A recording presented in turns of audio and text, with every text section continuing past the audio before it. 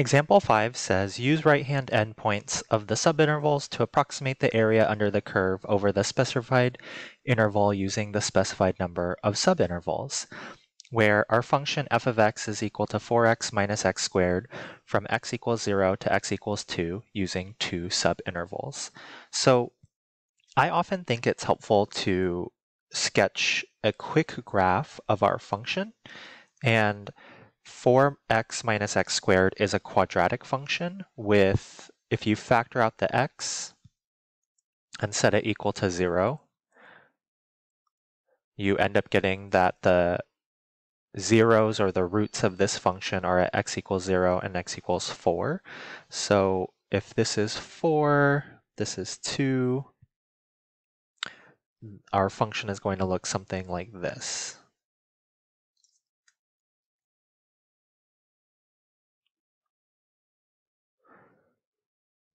Although after 2, we're not so concerned about since we only want to look from x equals 0 to x equals 2. So I just put a dot, a dashed curve there.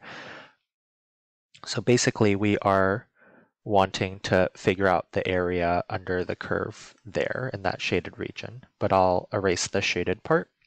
So we want to use two subintervals. That means that they're going to be equal size. So uh, they're each going to have a width of 1, and we want to make sure that we're using right-handed endpoints. So the way that we're going to draw our rectangles, they are going to look like this.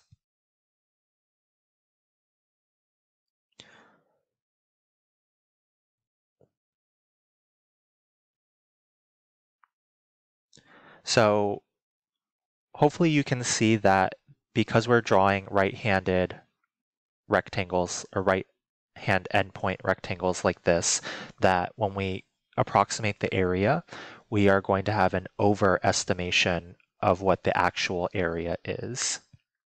Now, we need to figure out the areas of the rectangles and then add them together. So the area is going to be approximately equal to, let's, um, let's say area of first rectangle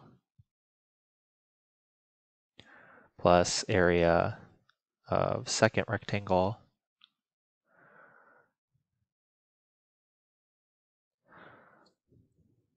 So that's approximately equal to the first rectangle has a base of 1 and a height of, since our x value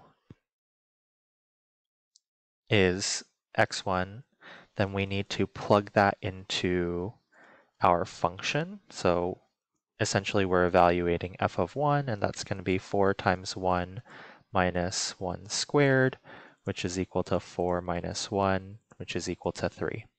So the height of our first rectangle is 3, and then plus the area of the second rectangle, well, the base is going to be 1, and we need to figure out the height so that's going to be f of x2, which is equal to f of 2, which is equal to 4 times 2 minus 2 squared. That's 8 minus 4, which is equal to 4. So that ends up equaling 3 plus 4, which is equal to 7. So using right-handed rectangles, we get that our approximate area for the curve is 7.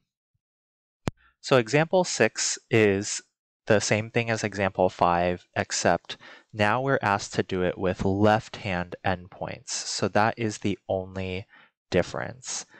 Now let's draw our rectangles in the image.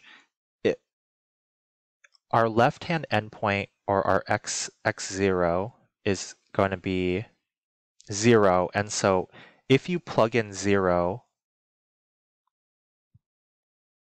into our function, you end up getting 4 times 0 minus 0 squared, which ends up being 0. That means that our initial rectangle has a height of 0, um, which is not good because we're trying to be approximating that area, but our first rectangle has a height of 0, so there is nothing we can do about that.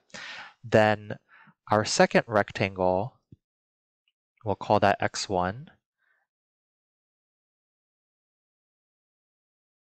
that is our second rectangle. So essentially, the only area we're going to be approximating is the area of this rectangle here, and we're actually missing out on all of this area in the red. So again, hopefully you can see that for this example, our approximation is going to be an under approximation.